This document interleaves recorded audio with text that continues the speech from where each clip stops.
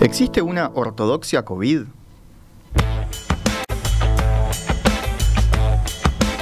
Eso es lo que denuncia un conjunto de pensadores, intelectuales, que se consideran disidentes con respecto al manejo de la pandemia de COVID-19.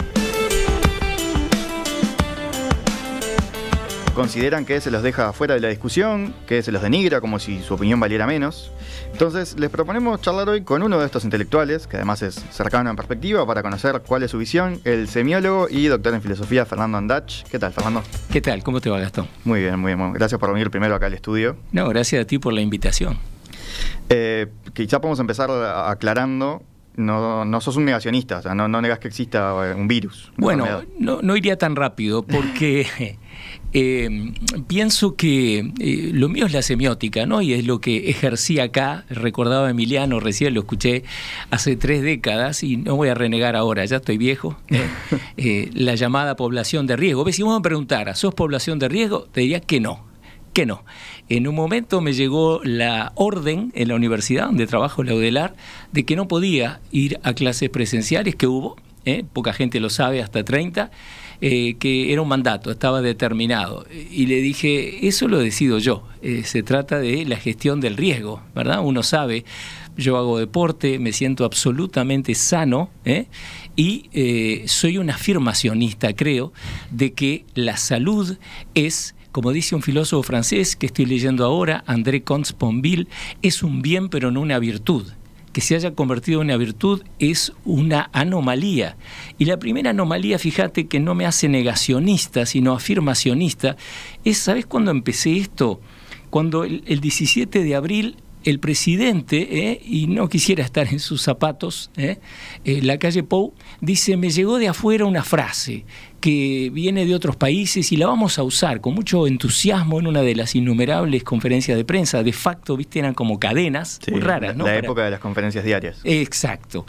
alguien que estudia los medios. Lo mío es los medios. Eh, si me preguntás de las vacunas, el CT, la variable, bueno, he estado leyendo eh, con gente que entendió mucho más y se puso a leer más que yo, que es Aldo Mazzucchelli, editor de Extramuros, que les recomiendo a los oyentes, antes de prejuzgar si somos, como se desprecia, virus planistas, terraplanistas o simplemente charlatanes, que lean artículos como El agujero negro del periodismo y las fuentes que cita allí son intachables, numerosas. vamos a charlar un poquito más de eso Ahí está, pero termino diciendo, cuando dice, me llegó esta frase muy contento, ¿no? 17 de abril, tan importante como el 13 de marzo, emergencia sanitaria, la nueva normalidad.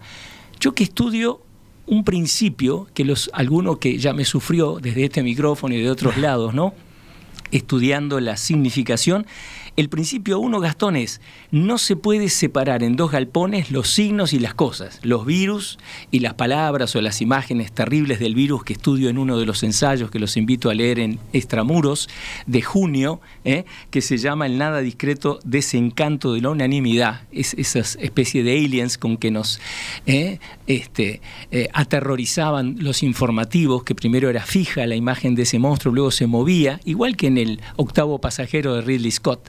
Alien, ¿no? Entonces digo, acá hay algo que no funciona, porque para la semiótica, fíjate, el modo de llegar al mundo de los virus, de la comida, de la radio, de todo, es a través de signos. No podés tener un acceso, digo, pensá en el verano, ¿a qué pensás en una playa? O si te gusta la sierra, pero no podés no pensar en nada y solo tener la sensación pura. Esa te va a venir cuando llegues a la playa o sueñes con la playa, pero en el medio va a haber palabras como atardecer, mate en la playa, aunque ahora es un tabú el mate.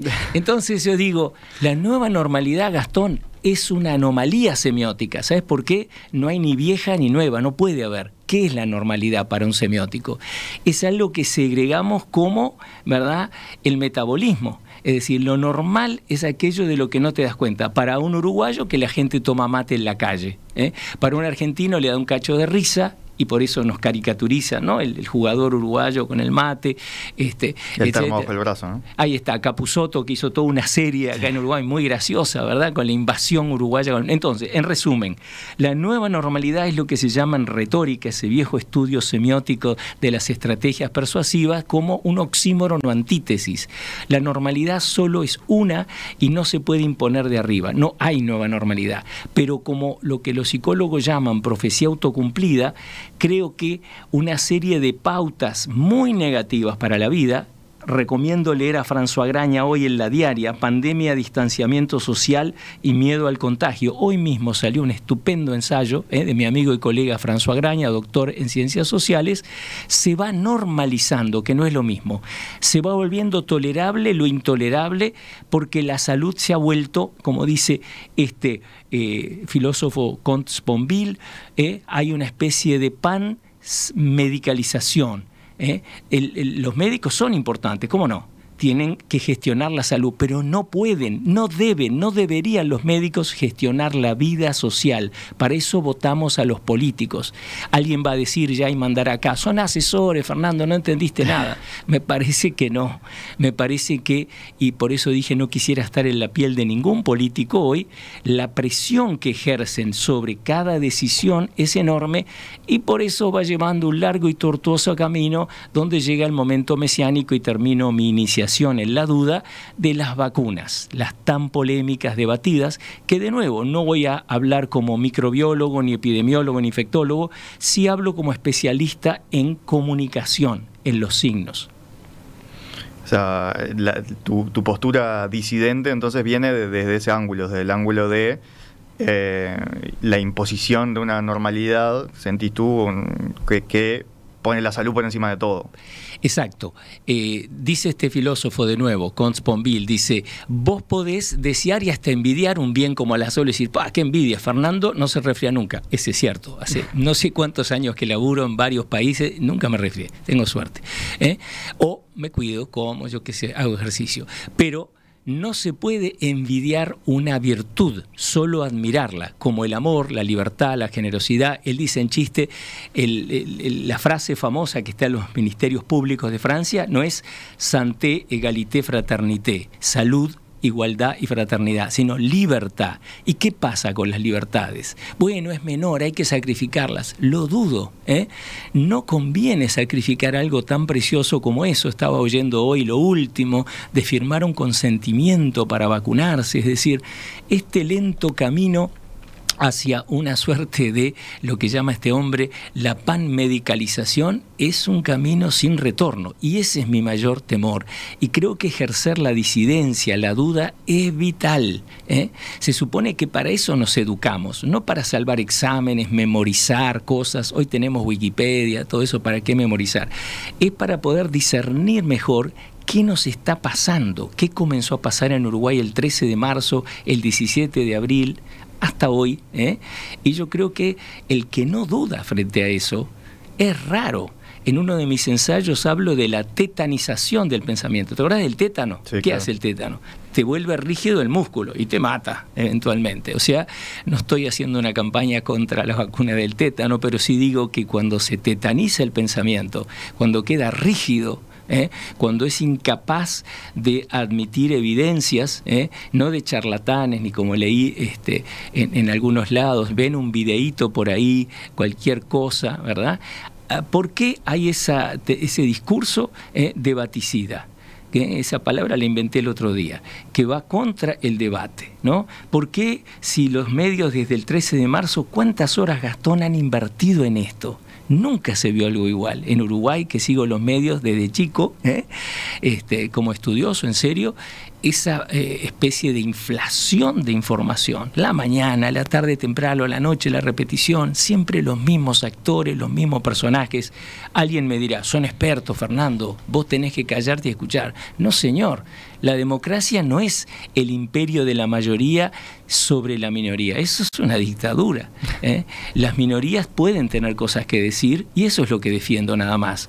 Algo de la democracia, de la libertad hay un montón de, puntos para discutir, creo, con, esto que, planteas vos, que es similar a lo, que plantean esta, este grupo de intelectuales, ¿no? O sea, vos mencionabas a Aldo Mazzucchelli, Extramuros es una revista digital donde se han ido nucleando, ¿no? Que la dirige Aldo, está vos, está Alma Bolón, por ejemplo, ¿no? Sí, Mariela eh, Michel, Rafael Baise.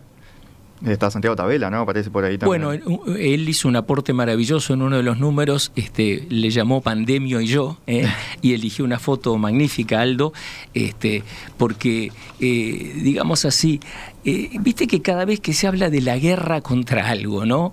Ese afán tan norteamericano, la guerra contra las drogas, contra el comunismo, nunca funcionan. Pensá el, papelón de Vietnam, del que se tienen que retirar ¿no? con la cabeza gacha, eh, no fueron los primeros este, que trataron de incidir en ese lugar del mundo, ¿eh? los franceses antes, etcétera, pero la guerra contra el enemigo invisible.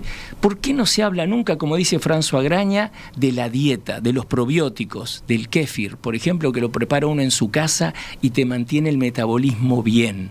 ¿Por qué esta idea de volver al otro el enemigo. Como leía hace poquito, ¿no? Esa famosa frase, ¿te acuerdas de Jean-Paul Sartre? El infierno son los otros, en una obra de teatro, ¿eh? se llama Wicklow, como recinto cerrado. A puertas cerradas, ¿no? Exacto. Pensá, y estoy escribiendo sobre eso ahora y voy a hablar en un webinario, como se llama ahora, este, organizado desde Italia, Universidad de Turín, le llamé eh, la, la COVID-19 tiene cara de mujer, el caso de Carmela Ontú.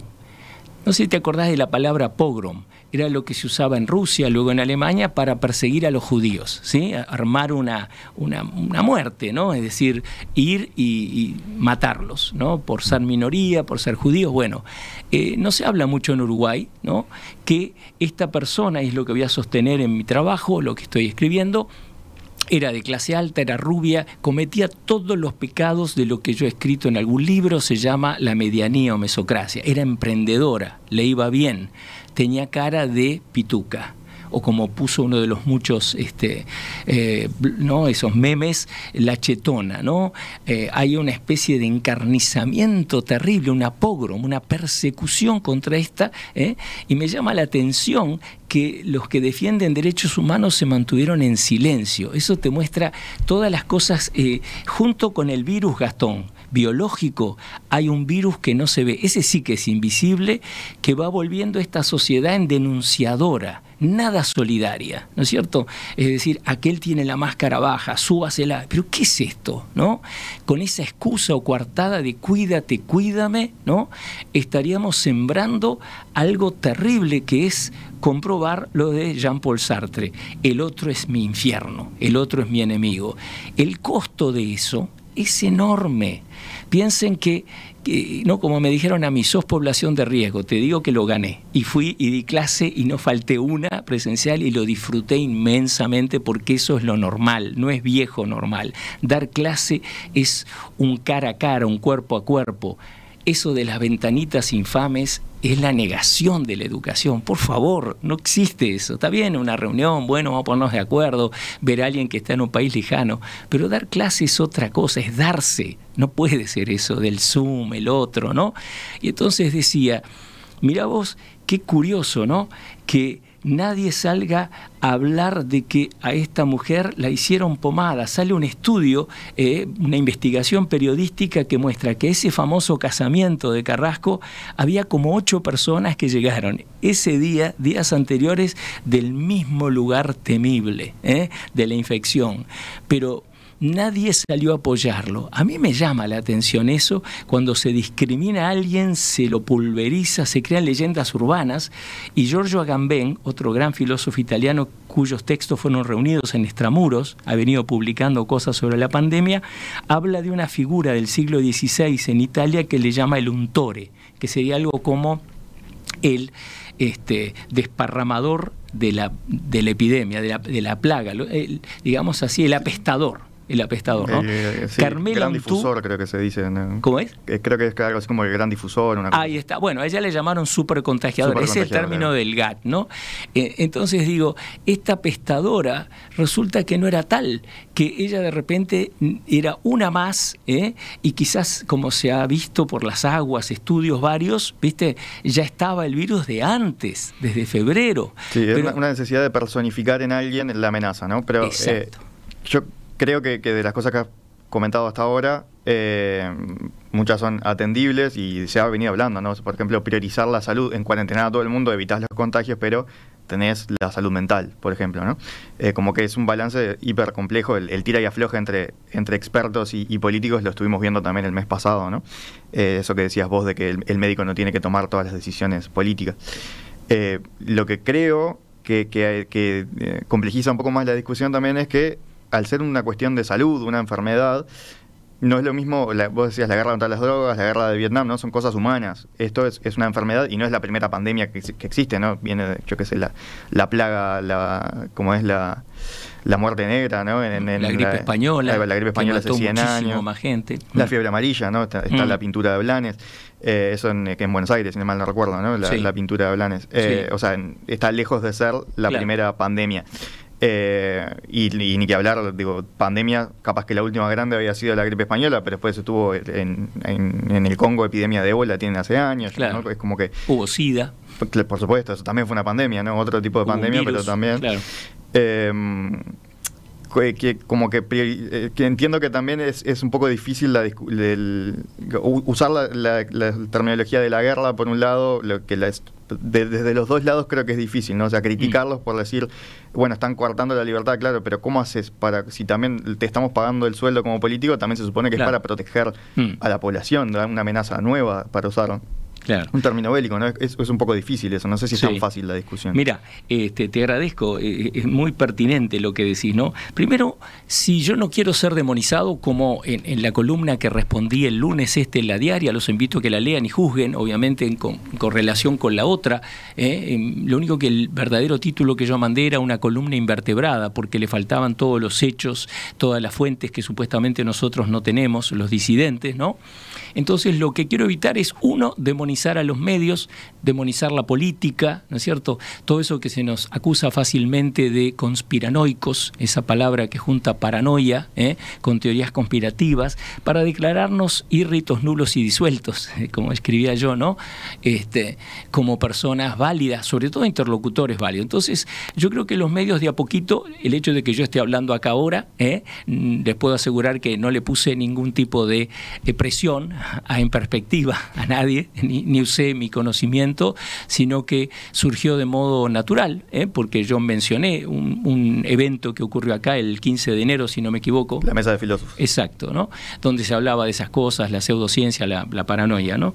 Este, y entonces yo digo esto, no voy a demonizar a los medios, no quiero que demonicen a nadie, pero sí cito otra vez a otro filósofo. ¿Por qué esto de los filósofos, no? Porque eh, el, gran eh, drama de la humanidad lo dice el fundador de la semiótica que vengo leyendo hace 40 años ya, muestra mi edad eh, y, obviamente puedo estar equivocado en todo desde que empecé a hablar hasta que me vaya y muchos deben estar pensando porque es un tema, como bien decía Gastón recién, delicado, atañe la vida, pero justamente porque atañe la vida pienso en Montaigne, siglo XVI, el autor de los ensayos, un género que él funda de manera lindísima y válida todavía, dice, de lo que tengo más miedo es del miedo. Y otra frase más dice, uno no se muere por una enfermedad, se muere por estar vivo. Estoy citando indirectamente a Daniel Salinas, otro Daniel Salinas, sí, coincide con el que hoy sigue siendo ministro de Salud Pública, ¿verdad? Pero que ahí al comienzo dijo, vamos a ponernos las pilas. La muerte es parte de la vida. ¿eh? Vamos a no dramatizar. Luego se murió, desapareció, apareció otro que simplemente da más protocolos, más cosas. Pero eso que dijo es de una sensatez enorme. Es decir, ¿qué estamos haciendo hoy? Piensen esto nada más, ¿no? ¿Qué es la famosa solidaridad intergeneracional? Que los padres siempre nos sacrificamos por los hijos, es asimétrica, no al revés. No se espera que los niños se sacrifiquen por los padres, ¿eh? o los abuelos se sacrifican por los niños. Acá se está dando vuelta y algo de viejos, me incluyo, tengo 66, voy a cumplir dentro de poquito 67, insisto, no soy población de riesgo, soy un ser humano corriente, falible, ¿eh? vulnerable, pero también sensato. Entonces, ¿por qué me voy a cuarentenar o prohibir del placer de lo que más me gusta, que es investigar, dar clase de lo que investigo, por una cosa fantasmática llamado protocolo, ¿no es cierto? Este, que tendrá sus medidas razonables cuando alguien está enfermo o está de delicadísima salud, tiene el sistema inmunológico, ¿verdad?, complicado, está bien, está bien que se lo proteja, ¿verdad? Pero eso es la vida común, esa es la gestión sanitaria del médico, pero es muy distinto a esta pan-medicalización, que es terrible. ¿Viste lo políticamente correcto?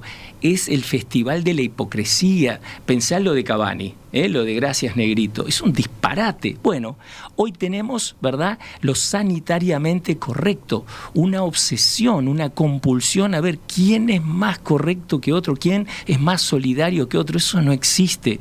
Repito, la salud es un bien precioso, un bien, sí, como, como tu casa, no crees que te la invaden, que se queme, pero no es una virtud. ¿Cuáles son?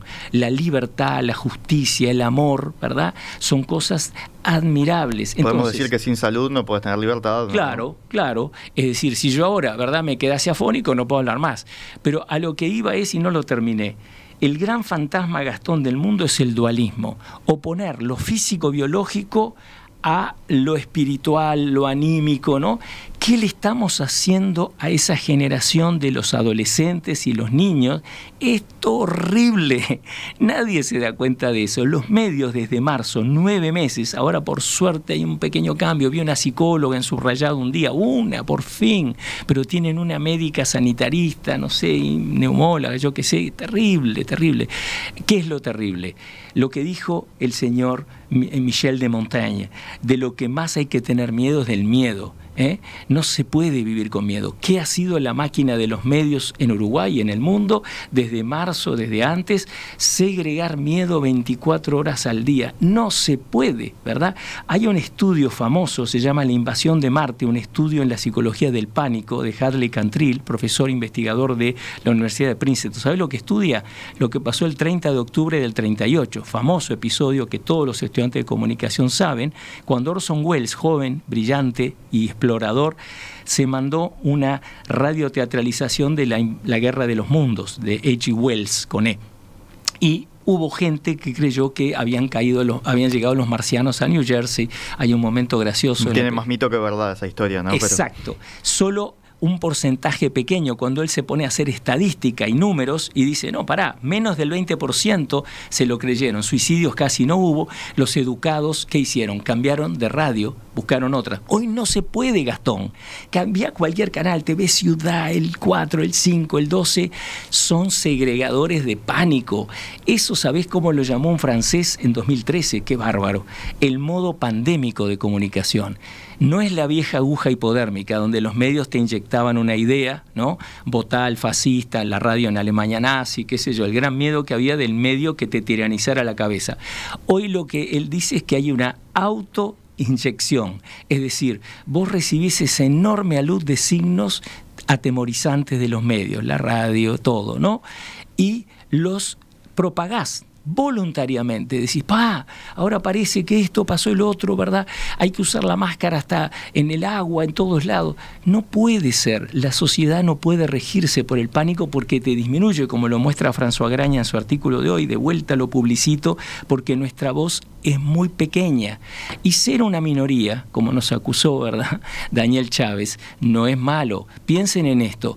El 23 de febrero, 22 de febrero del año 43, en unos días se cumple aniversario, Hans y Sophie Scholl, la Rosa Blanca, repartieron unos panfletos contra Hitler en una universidad de Múnich, ¿verdad?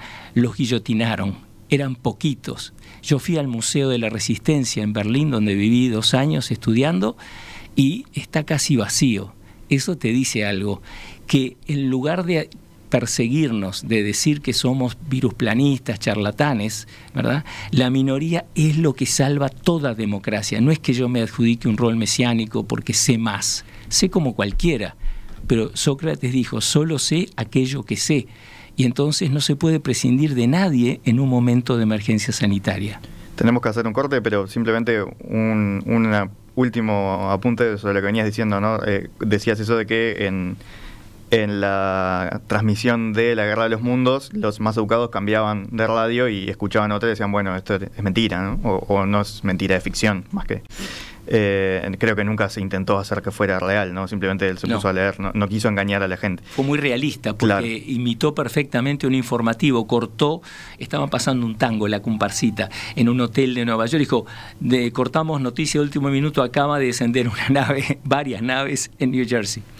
Pero vos decías, ahora no se puede, no, no podemos cambiar la radio y escuchar otra cosa. ¿Pero qué significaría eso? ¿Cambiar la radio y escuchar otra radio que, que no diga que existe una pandemia? O que no, diga... no, no, no. E, eso, eso es el dualismo puro, ¿verdad? Es el binarismo. ¿Hay o no hay pandemia?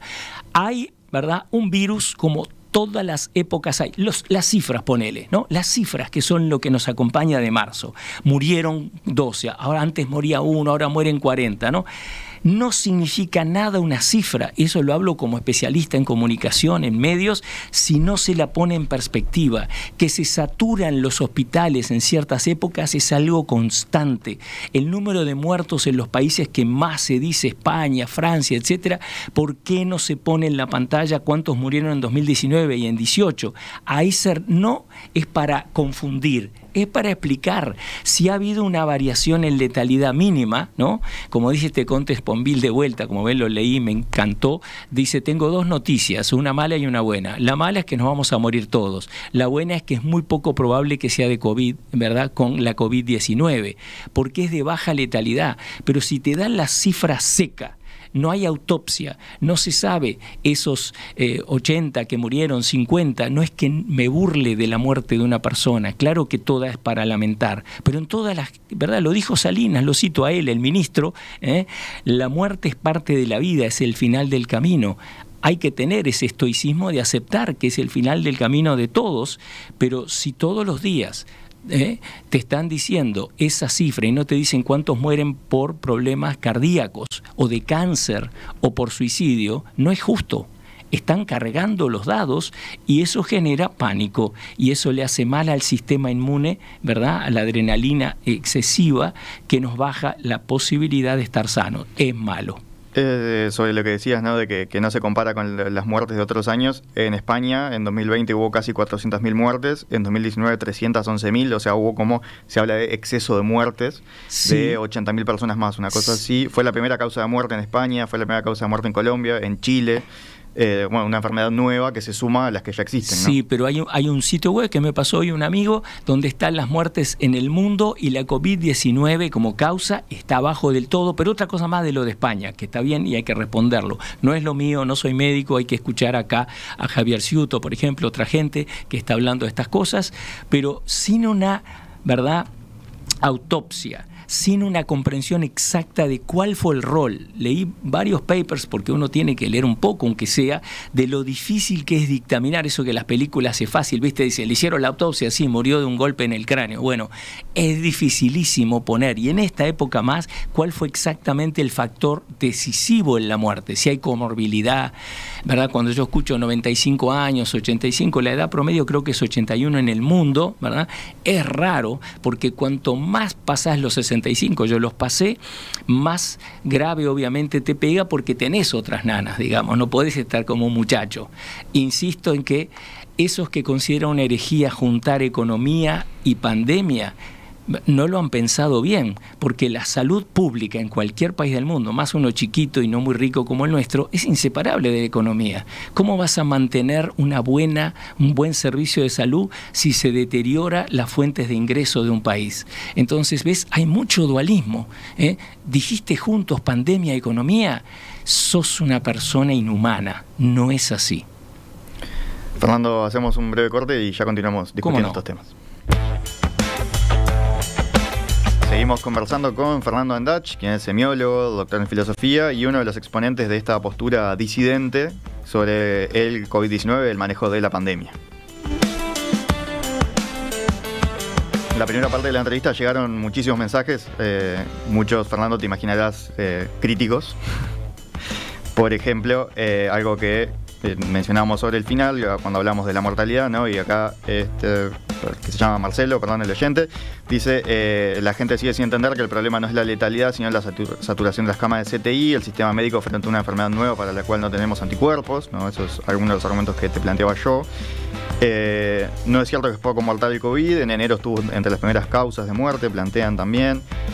Acá, eh, con tu comparación con el cáncer y las enfermedades cardiovasculares, no se puede zafar del cáncer o del corazón, del COVID sí.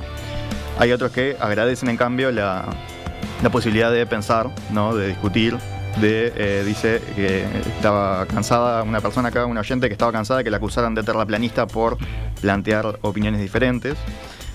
Gustavo dice, eh, un oasis en el medio del status quo, escuchar a Bandach. Bueno, hay de todo tipo de, mensajes. Vamos a, conversar un poquito más sobre esto. Fernando, vos en este rato has mencionado un montón de, filósofos o de pensadores ¿no? que, han escrito sobre este tema. También mencionabas a, Javier Ciuto, un médico que es bioestadístico, es una de las personas que aparece eh, siendo crítico con, con este manejo de la pandemia también. Mencionabas un artículo de Aldo Mazzucchelli, eh, CT, el agujero negro del periodismo, que se publicó en Extramuros, si mal no recuerdo, en diciembre. Un artículo interesante que planteaba varias preguntas, ¿no? Nosotros lo investigamos, ese tema es un tema sumamente complejo, lo mm. pueden buscar en, la página web de En Perspectiva. Tiene que ver con cómo se hacen los test de PCR, que cada test se hace en ciclos, ¿no? Mm. Eh, o sea, se, amplifica, se amplifica. en ciclos una muestra y eh, los test uruguayos cortan entre el, el, ciclo 35, o por lo menos los más utilizados, que son los de los del consorcio, claro, los del consorcio de mm, Facultad de Ciencias, eh, ATGEN y el Instituto Pasteur cortan en 35 y había un estudio de que suele citar Aldo Mazzucchelli y también Javier Ciuto, que es de Bernard Lascola, donde eh, se estudió una cantidad de, muestras bastante grande, creo que 3.000 y pico de muestras, y llegaba a la conclusión de que a 35 ciclos, que es a donde cortan esto, 97% eh, eran falsos positivos. Bueno, ese tema que es sumamente complejo de explicarlo. De hecho, el artículo de Aldo es larguísimo. Eh, nosotros lo, tratamos de entender y explicar. Conversamos con varios personas de laboratorios, de investigadores del Pasteur, gente que nos explicó cómo funcionaban los test uruguayos, cómo funcionaba este tema en particular lo que la, la, base, el final de la discusión era eh, si fuera cierto que hay 97% de falsos positivos, cuando se hicieron aquellos, eh, aquellos tests aleatorios tanto en la construcción como en Rivera y dieron todos negativos, ¿te acordás? Fue como por mayo. Eh, no podría haberse dado, no tenía que haber dado una cantidad de, falsos positivos que no, aparecieron. ¿no? entonces eso para, para aportar a la discusión en ese sentido. Claro. Pero estaba interesante de cualquier manera, por más que es un tema súper complejo de explicar y creo que incluso la explicación científica deja preguntas, que también es mm. algo que tiene la ciencia, ¿no? Es, Difícilmente la ciencia sea como contundente y te diga, no, esto es así, así, así, no tiene otra, ¿no? Claro, sí, sí, eh, sobre todo, eh, más, eh, mira qué irónico, ¿no? Más que nunca la ciencia, me gustaría ponerla con mayúscula, se ha acercado a la gente a través, obviamente, del grupo asesor, ¿verdad? Y yo diría que también se ha alejado enormemente porque es mi única idea de dos ideas he tenido nada más, ¿no? Y estoy conforme, dos ya es bastante, ¿no? Porque es difícil eh, pensar sobre algo en serio, ¿no? Y lo mío, no voy a hablar de los CTs porque no soy biólogo molecular, eh, lo poco que sé es que le pedimos el grupo al Ministerio de Salud Pública porque hay un derecho a información y nos dijo que cortaban muy alto, ¿verdad? Y hay estudios como el que vos mencionaste muy bien, que dicen que luego de 25 va perdiendo confiabilidad y el propio Kerry Mullis, el inventor el premio Nobel, que murió lamentablemente antes de empezar esto, la emergencia sanitaria, el inventor, del, PCR, que ganó un Nobel por eso, decía que no servía para detectar este tipo de cosas. Pero no quiero entrar en, agua. Bueno, sí, sobre ese tema, de, he investigado mucho, eh, no, eso no lo leí. Sí, no sé si tanto es polémico o se ha tratado de generar polémica, ¿no? Como que se agarran, se agarran algunas cosas que son reales y se lleva a, bueno, esto, esto es, falso, ¿no? Porque también es cierto que cuando empezaron a subir la cantidad de test positivos en Uruguay, que fue en noviembre, diciembre, mm. en paralelo empezó a subir la cantidad de gente en el CTI, en paralelo empezó a subir la cantidad de fallecidos, entonces es claro que hay una correlación entre la cantidad de positivos y la cantidad de, eh, de enfermos, porque también está toda la discusión que es sumamente válida de si un caso positivo es un, enfermo, un enfermo cuando no tiene, eh, no, tiene mm, síntomas, no, hay toda una, cantidad de cosas, pero creo que hay correlación clara entre cantidad de positivos, cantidad de muertos, cantidad de personas en el CTI, ¿no? Yo creo que falta mucha claridad, pero, pero para hablar de lo mío, ¿no? Porque ahí van a llegar mensajes con toda la razón, dice, este es un chanta, ¿no? Lo que no soy chanta, voy a dar una experiencia lo más personal posible. El 16 de julio me invitan de un programa, ¿no? En TV Ciudad, que eh, el, el, tema era el tiempo del miedo, ¿no? Y hablo unos pocos minutos. Nunca tuve un video tan visitado, tiene 16.000 visitas, ¿no? Ahí eh, empiezo a desarrollar mi idea sobre los medios, que de eso entiendo, ¿no? Y hablo de una leyenda urbana que circulaba en ese momento, que la publica New York Times, que había fiestas para enfermarse de COVID. Y dan datos, pero raros, es decir, hay todo una bola inmensa que, se está gestando y ese New York Times no es un diario de provincia que dice cualquier cosa, ¿verdad? O las famosas redes y charlatanes y videitos como dicen con tan, tanto desdén, ¿no? Y entonces yo explico, hablo de todo lo malo que es ese régimen de miedo y les puedo asegurar, amables oyentes, ¿no? Que uno, lo pueden ver, está en YouTube, uno de los periodistas me dice, a lo que sea que hablemos de ahora más te vamos a invitar. Nunca más fui, está bien, ¿no? Pero más interesante es algo del backstage, no voy a decir quién lo dijo, no importa, queda con cara estupefacta, eso no me olvidaré nunca y tengo alguna experiencia en hablar y difundir estas cosas en los medios, no solo en perspectiva, en la tele, me dice con cara así, ¿no? no estaba pasmado. Dice, entonces tú no estás de acuerdo con lo que dicen los medios, para nada. O sea, no podía recuperarse del susto. Lo cierto es que no fui más a ningún medio a hablar de eso, ¿no? Eso es algo. Digo, no es que yo me crea importante, no tengo ninguna importancia, no soy nadie, pero eh, lo que sigo subrayando, ¿verdad? Y eso no me va a convencer nadie, que la democracia tiene que ser polifónica, tiene que dar lugar a todas las voces.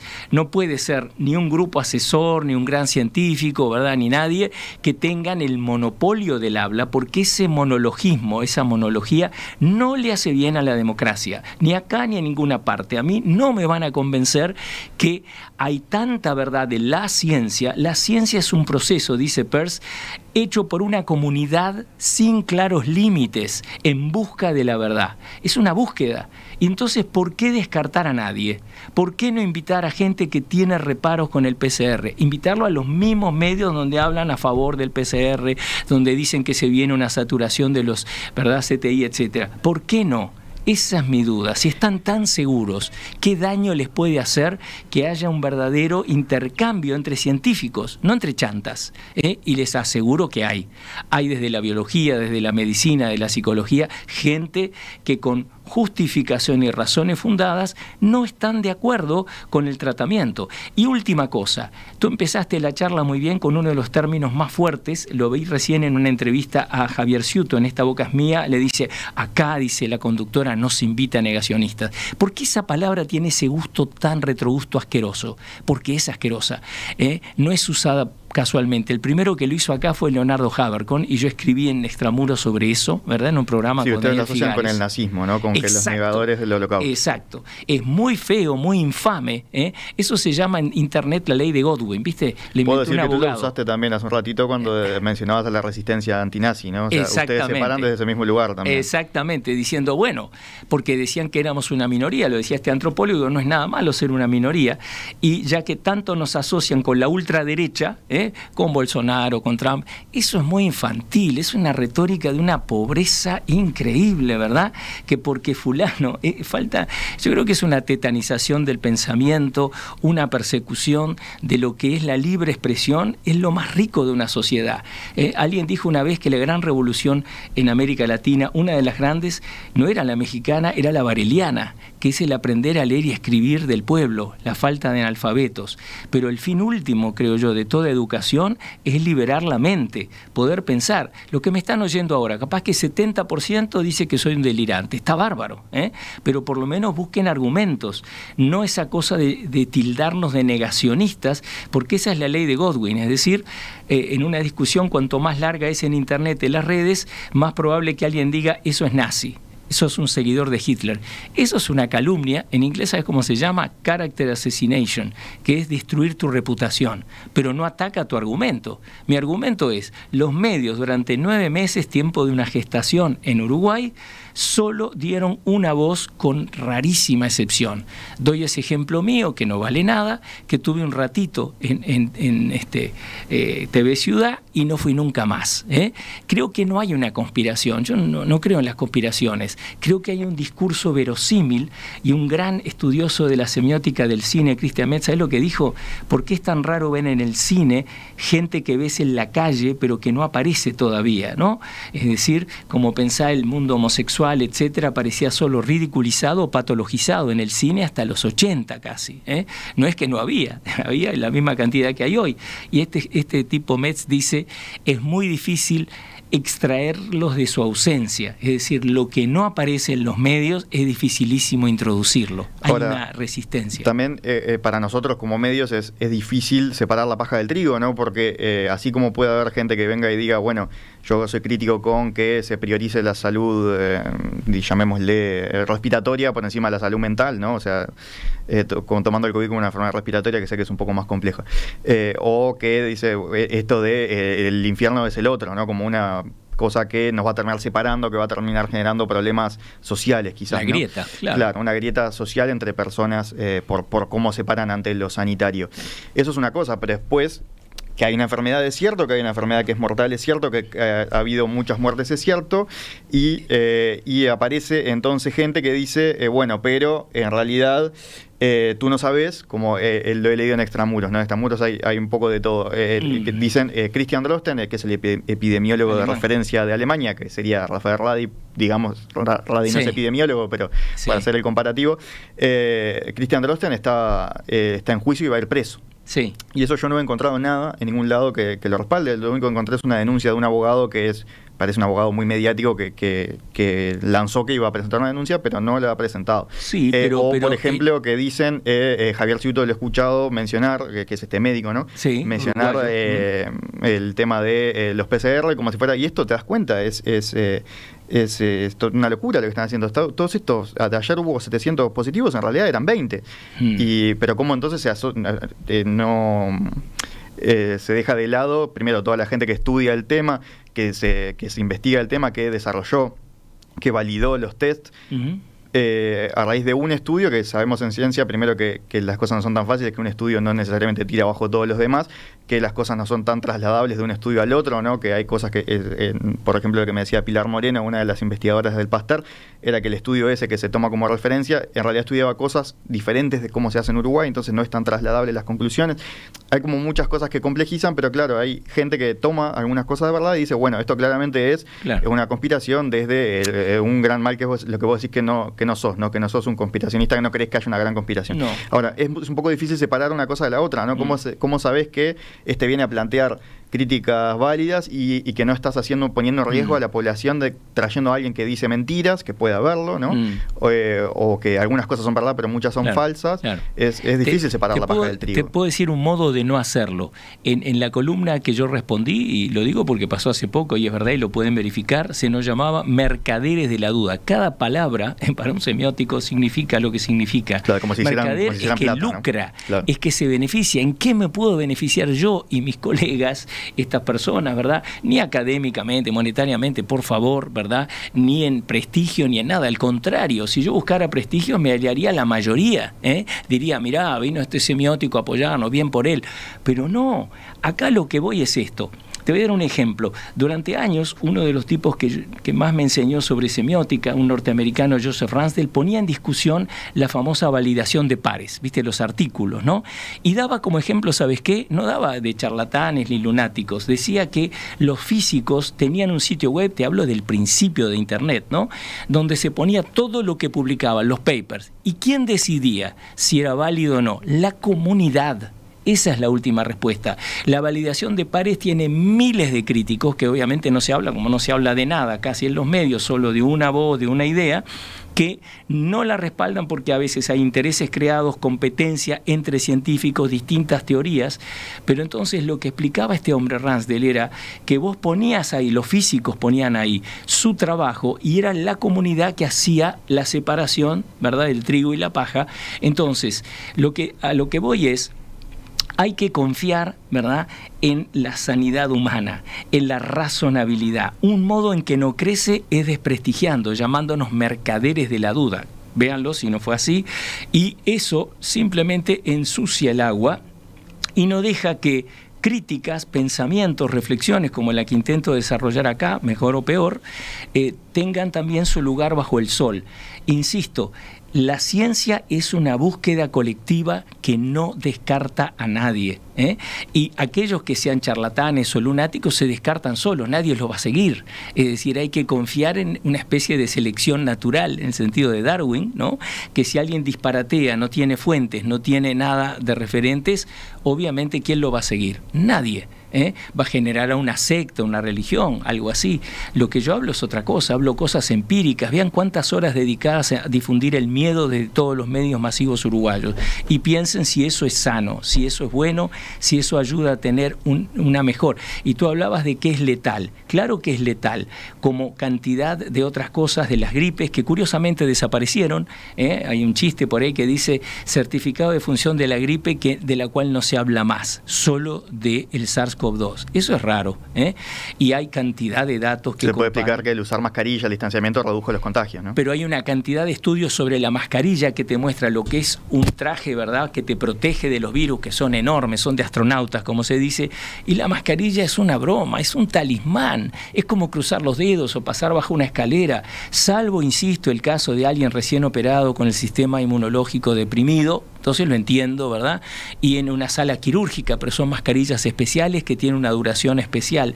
Yo siento que hay mucho de magia negra, es decir, la mascarilla, ¿verdad? Y lo ves. Puede ser que sea un símbolo, que se use como un símbolo. Es cierto, también, también lo consultamos con expertos del tema y nos dijeron que, bueno, que uno cuando eh, expulsa el virus lo que hace es expulsar gotículas que llevan el virus y que la tela reduce la, expulsión de gotículas, ¿no? Entonces que por pero eso el tamaño del virus, por favor, el tamaño del virus es menor que las fibras de la tela, pero que bueno, las gotículas no son menores que la tela, quedan contenidas ahí. Claro, pero el valor, el valor que tiene de sometimiento, ¿eh? como dice mi amigo Marcelo Marchese, el amor que tiene de, el, valor, perdón, que tiene de represión. Cuando veo gente corriendo en la rambla de máscara, me quiero matar.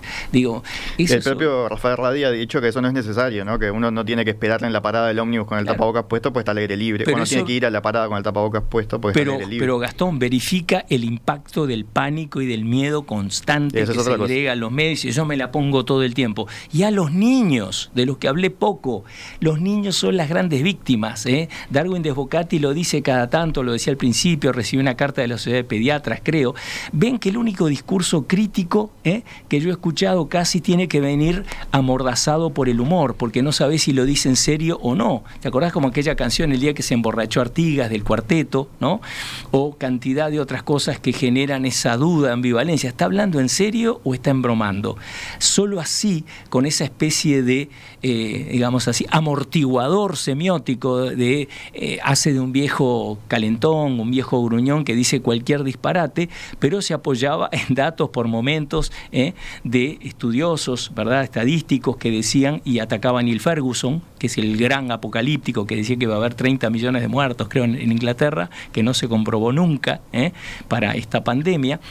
Entonces, negacionista es un signo cargado, es un signo destinado a liquidarnos como fuerza crítica que es necesaria, no yo, no importo para nada. Tiene que haber en toda sociedad. ¿Por qué se llega al nazismo, al fascismo, al estalinismo? Porque justamente se suprimen las voces críticas, la disidencia. ¿Qué le pasó a Trotsky? No era amigo de Stalin antes. ¿Qué hacía Stalin con las fotos? ¿No iba borrando a todos los que iba matando en, las purgas? Claro que sí. Es poco mucho decir que, esto es similar a eso, ¿no? Que Ah, yo veo la restricción. Yo eh, cada vez que veo una máscara, ¿sabes en qué pienso? Y lo, lo puse como un título, embozalamiento del debate. ¿eh? Cuando en un programa radial que nos ataca directamente, una charla que dimos en una librería con Enir Sartú, Marcelo Marchese, Baice, Mariela Michel y Alma Bolón, y, dice, eh, se animan a decir los periodistas, dice, por supuesto no los vamos a invitar para replicar. Ah, a mí me parece que eso va por mal camino, no porque no nos inviten a nosotros, pero eso es típico de lo... Pensá en la dictadura, ¿cuál dicen que es un hito de la dictadura uruguaya cuando termina? Un debate entre Volentini Tarigo y otros. Pasa que tú también, usando, ya estamos un poco pasados de hora, ya ir, ir cerrando, pero eh, es muy interesante el tema, ¿no? Pero tú decías la ley de Godwin, esa ley de que, cualquier discusión, cuanto, cuanto más larga es una discusión, más hay tendencia de, que, de mencionar al nazismo, ¿no? Como, claro. Eh, Como acusación, ¿no? Vos, sos nazi, ¿no? No, no pondríamos a debatir a, un sobreviviente del holocausto y a un negacionista del holocausto, ¿no? Llevando un ejemplo extremo, ¿no? Eh, porque no tiene sentido esa discusión. ¿Por qué poner a discutir a un, a un biólogo o a un virólogo que dedicó su vida a estudiar al virus? Mm. con eh, un antropólogo que dice, bueno, pero eh, yo no estoy de acuerdo. Hay figuras como Dolores No pondríamos a debatirte a ti, a ti sobre semiología con claro, Claro, pero hay gente como Dolores Cajil, una irlandesa, Judy Mikovits, gente de buen buen nivel, muy buen nivel, que sí saben de microbiología y que están estigmatizados, digamos. ¿eh? Eh, es muy difícil acceder a, ellas, a ellos, ¿no? A, gente que opina como médicos por la verdad Uruguay o en el mundo. Hay un grupo que tradujo Aldo Mazzucchelli en el último número de médicos belgas que hablan del juicio de Nuremberg sobre las vacunas. Este, no son chantas. También estuvimos charlando sobre ese tema con, Héctor Musto, que es eh, acá doctor en ciencias biológicas, integrante de, integrante no, como es coordinador de, la mesa de científicos aquí en Perspectiva. Eh, investigando ese tema y bueno, como todo en estas, estas cuestiones tienen puntos de verdad y hay otras que, se le llevan para otros lados, ¿no? Que, es, son temas sumamente complejos y a veces simplifica la discusión, ¿no? Desde uno y otro lado. Yo solo anhelo que haya un, foro abierto nada más y que la gente juzgue, el público diga, mira, este que, es, un negacionista, si le sale ese término, que lo use, es un conspiranoico, lo que sea, pero que sea la gente que lo juzgue y no que haya un casting, que haya una selección cuidadosa, que solo se escucha una campana, una voz, ¿eh? y cuando aparece alguien como Ciuto el otro día, está rodeado todo como de una membrana, ¿verdad? Como diciendo, vamos a traer un espécimen bizarro. Bizarro porque es infrecuente. Miren todos los programas, miren lo que quieran, radio, televisión. Ciuto también pidió la cuarentena en su momento. Sí, sí. Y yo escribí un texto eh, en Extramuros que se llama Largo viaje del miedo hacia la razón. Yo estaba en principio, ¿verdad?, atemorizado y soy la prueba viva de lo que digo. ¿Cómo no te va a atemorizar si te dicen que va a atacar a todos y sobre todo que los niños, y es la última cosa que digo, van a matar a sus abuelos? Eso es una atrocidad hasta la OMS lo reconoció tempranamente, que ni se contagian los niños ni contagian. Pero viste que sigue como una nube de duda, por la duda en una vez que se estudió el tema, que la ciencia estudió el tema, llegó a la conclusión de que no era necesario. Claro, niños en la escuela con bozal, tapaboca, por favor, no. Los estamos liquidando, es el futuro. La solidaridad intergeneracional es cuidar a los que vienen, no a los viejos como yo, a los que van a estar en el mundo mucho más. Y eso no está pasando, por algo será. Para cerrar, y te pido una respuesta corta, pues ya estamos pasados de la hora, pero eh, si entonces, ¿cuál, propondrías como alternativa para, para, el manejo de la pandemia? ¿No, no usar tapabocas? Ah, por supuesto. No, nada, digamos, nada de distanciamiento. Lo, lo, que se ha logrado son escenas patéticas, ridículas en, las tiendas, ¿verdad? En los lugares, esa, es, que te tomen esa temperatura con ese aparato ridículo. Es toda una teatralización, ¿verdad? Un melodrama ¿eh?